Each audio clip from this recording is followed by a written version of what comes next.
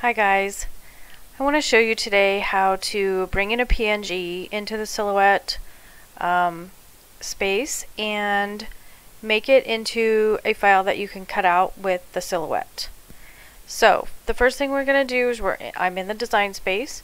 I'm going to file and go and grab my file. So let's see. I'm just going to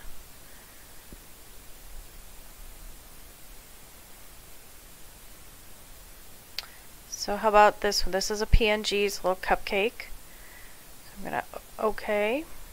And it's right here in my space now. Okay.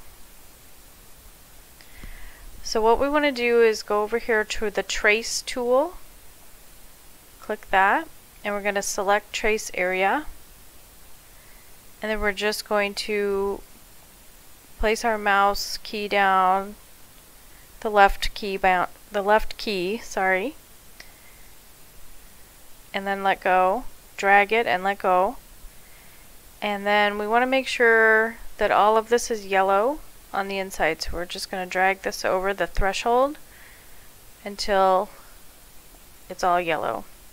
Then we're going to hit trace.